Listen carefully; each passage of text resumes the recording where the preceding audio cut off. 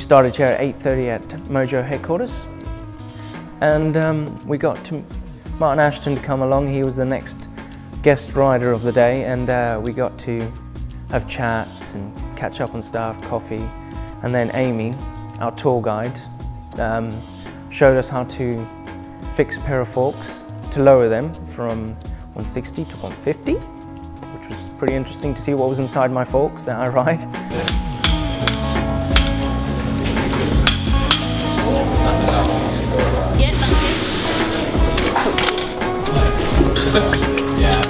You were like milking them. You were. That's what you were doing. It was gross. very sick It's like cooking. You will need to Put that in there. yeah, compress. Push it in. Mm. That should be fine. Huh? I think I'm gonna destroy this thing forever. Oh yes. Yeah. And she go. Ooh, glove in there as well.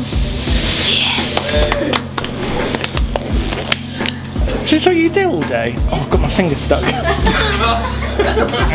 it's not funny. I want get out. Go like that. And it goes on. Oh, I can do that. That is easy. It's like milking a cup. Oh, it's not easy. Oh, there we are.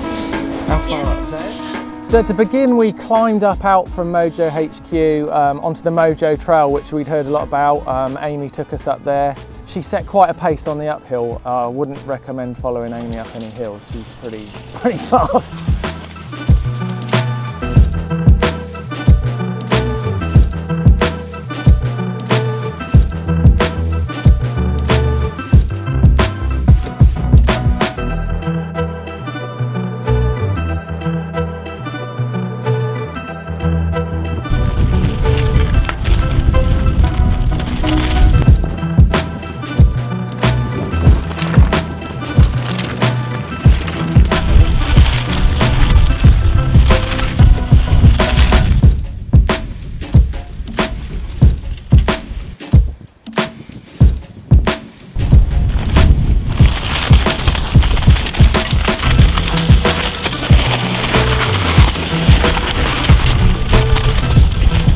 So we did a few lines up at the top and, uh, and then we came down the Mojo Trail, which was wicked. It was really, uh, really tight lines actually, switching backwards and forwards.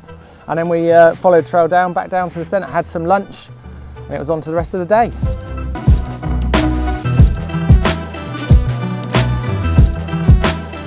Yeah, then the afternoon we went and rode another local trail spot and got to really see why Martyn Ashton's so good on, a, good on a bike, just hopping and nose wheeling down the road, hopping onto a bridge, riding across, just endless skills on the bike. It was just just wicked to see how you know how good he is.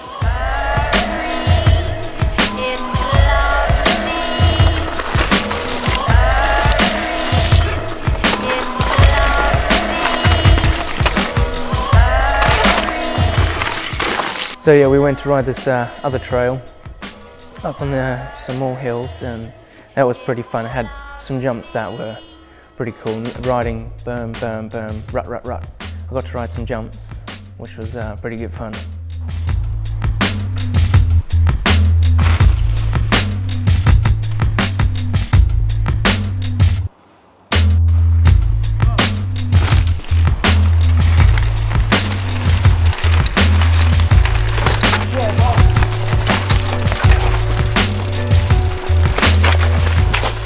Years. He even rode a blooming log that was covered in moss, completely off camera, that I would never have even entertain. And he's like just happily giving those things a go. I just realised the, the skills that he has is pretty amazing.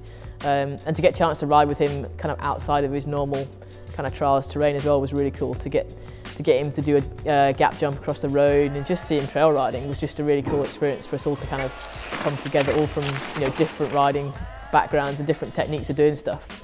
Um, it was great to see Blake boosting some big old jumps and just us all riding together and having fun all from such different places with our bike riding. It was yeah, really fun afternoon, good way to, to end day two.